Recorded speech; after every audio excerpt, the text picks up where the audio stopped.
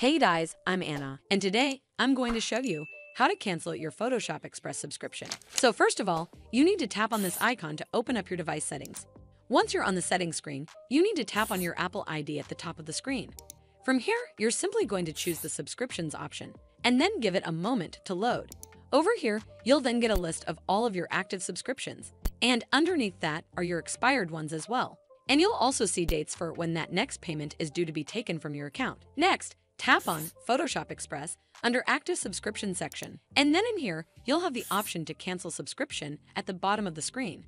Simply tap on it, and a pop-up will come up that reads Confirm Cancellation. Then hit Confirm, and you'll not be charged anymore.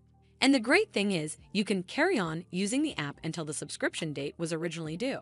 Also, deleting the Photoshop Express app or your Photoshop Express account will not cancel your subscription, and subscriptions renew automatically unless you cancel your subscription manually on your own.